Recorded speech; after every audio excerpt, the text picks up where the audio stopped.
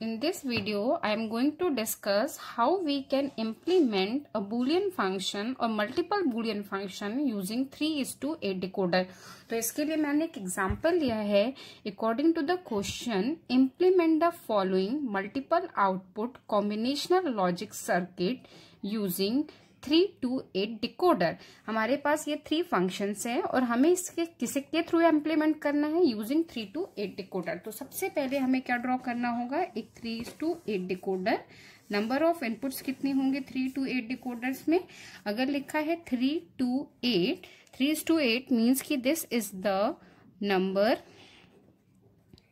of inputs and this is the number of outputs for given decoder. ठीक है? आठ outputs हो गए एंड थ्री इनपुट्स हो गए।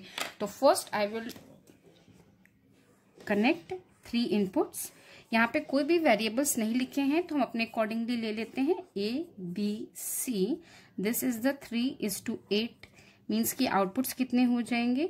O nought O one O two O three O four O five O six O seven eight outputs हो गए. Now first function क्या है? One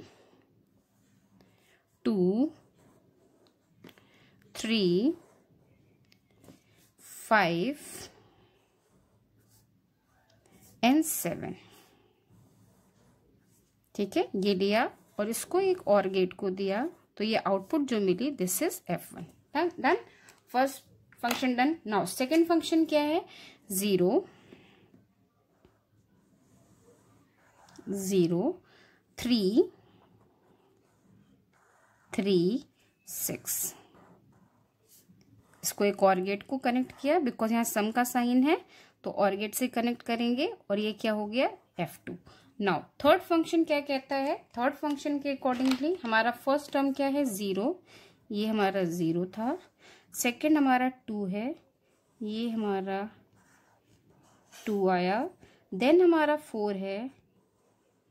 ये फोर आया। देन हमारा सिक्स है। ये सिक्स आया। और इसको हमने एक और गेट को दिया। ये एफ़ थ्री ठीक है? तो this is the multiple output combinational logic circuit using three two eight decoder thank you